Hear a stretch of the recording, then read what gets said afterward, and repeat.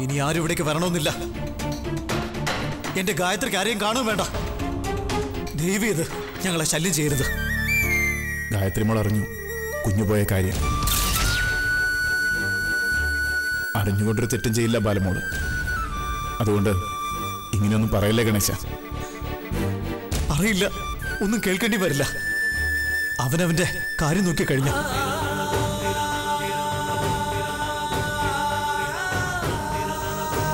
ഏത് നിമിഷം വീഴാവുന്ന പരുവത്തിലാ മുത്തശ്ശ? ആ അവസ്ഥ മനസ്സിലാക്കിയിട്ട് എന്നെ ഒറ്റപ്പെടുത്തരുത് മോൾ. ചിന്തിക്കാൻ പാടില്ലാത്തതൊന്നും ചിന്തിക്കരുത്. എന്റെ മനസാക്ഷി എന്നോട് പറയുന്നുണ്ട്. നീ നിന്റെ ചേച്ചിയോട് വഞ്ചന കാട്ടിയെന്ന്.